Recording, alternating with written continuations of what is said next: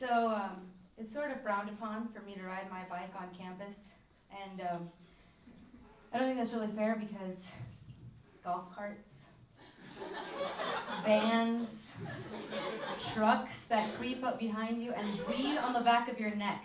Yeah, those are all okay. People don't really respect the bike. People don't want us on the sidewalks. We don't really want to be on the streets. So rather than give us half the sidewalk, they gave us 1 16th of the street. and even then, it snows, and they're like, oh, what should we do with all this snow on the road? Mm, put it in the bike lane. well, what about these giant construction signs or these greasy construction workers or trash cans? Put it in the bike lane. what about the cars? Can they go in the bike lane? No, absolutely not, unless they want to. Sometimes people say, I'm so happy I could sing. But that doesn't really make sense because I don't care how happy you are, you can't sing.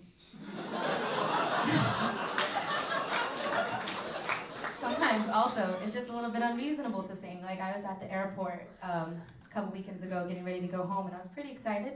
I was so happy I could sing actually, but I didn't because I was at an airport.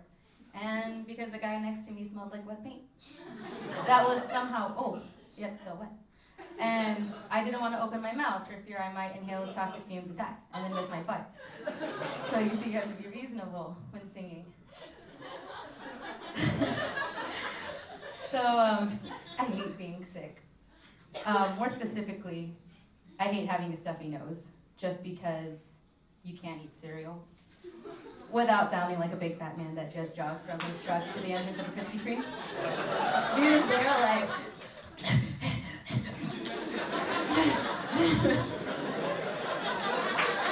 you got milk dripping out the corner of your mouth. Like, not being able to breathe has suddenly made you brain dead. And you're walking around campus looking at all the healthy people, all bitter. Like, look at the way he breathes. All smug. Like he owns the air. It's for everyone, you jerk. I do wish people would be more happy. Um, I feel like lately I've been triggering people's pent up rage and pent up depression. Like I just say one thing and it sets them off. Why can't anybody just ever have pent up happiness? Or pent up extra money or? Unload all that on me, no.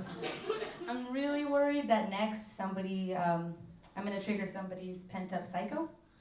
Like I might just say one thing wrong, like, oh, I love your hair. I wish I had your hair. Oh, you want my hair? Here, take it. I don't want it anymore. It looks better on you anyways. And it did. It was blonde. It Gave me some highlights. So, uh, this is one of those sad truths about life. Um, when an ugly guy, ugly guy flirts with you, um, he's automatically a creepy stalker.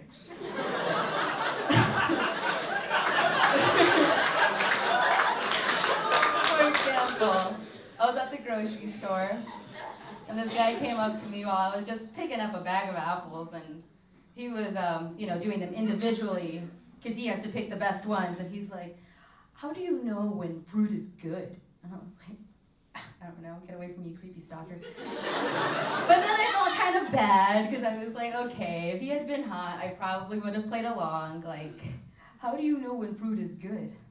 Now you know. The same way you know a man is good. Sweet, tender, a little bit of peach fuzz. so, the other day, um, I was typing in an address on my web browser and I misspelled it.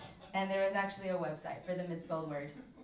And that means people are making money off of my mistakes. But good for them.